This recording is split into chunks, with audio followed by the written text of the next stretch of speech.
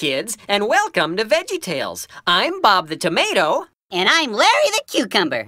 And we're here to answer your questions. That's right. And today's question comes from